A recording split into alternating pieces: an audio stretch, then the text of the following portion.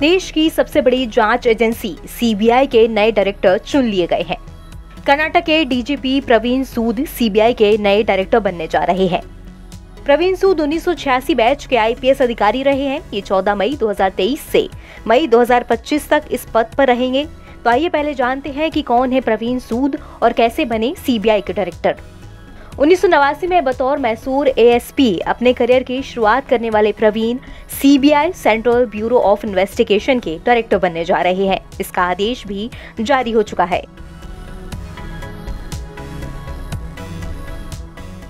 2004 से 2007 के बीच मैसूर के कमिश्नर के तौर पर प्रवीण सूद ने पाकिस्तानी आतंकी को पकड़ने में अहम योगदान दिया था।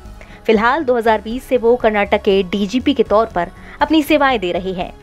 इतना ही नहीं, उन्हें उन्नीस सौ छियानवे में अपने बेहतरीन काम के लिए मुख्यमंत्री के गोल्ड मेडल 2002 में अपनी सराहनीय सेवा के लिए पुलिस मेडल और 2011 में अपने बेहतरीन काम के लिए राष्ट्रपति के पुलिस मेडल से नवाजा गया है। और मार्च 2022 में मध्य प्रदेश के डीजीपी बने थे। प्रवीण सूद ये नाम इससे पहले भी 2019 से 2020 के बीच काफ़ी चर्चा में रहा था।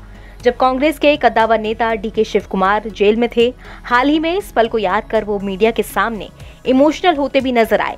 सितंबर 2019 में 104 दिन जेल में बिताने के बाद बाहर आकर डी के शिव कुमार ने प्रवीण सूद पर कुछ आरोप लगाए थे और उन्हें बीजेपी की कठपुतली बताया था।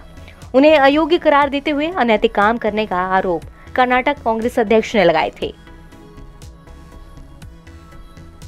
इन सबसे इतर यहाँ ये जान लेना ज़रूरी है कि Delhi special police establishment act 2014 के तहत सीबीआई डायरेक्टर का चयन तीन मेंबर की कमेटी करती है। इस तीन सदस्यों वाली समिति में प्रधानमंत्री, देश के मुख्य न्यायाधीश और विपक्ष के नेता शामिल होते हैं।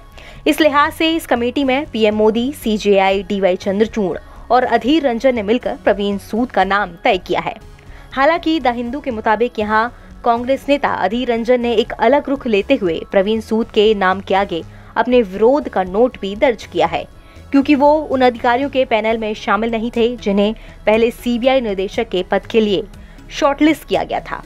वहीं द हिंदू के मुताबिक प्रवीण सूद का नाम उस लिस्ट में आखिरी समय में डाला गया। पहले उनका नाम इस लिस्ट में शामिल नहीं था।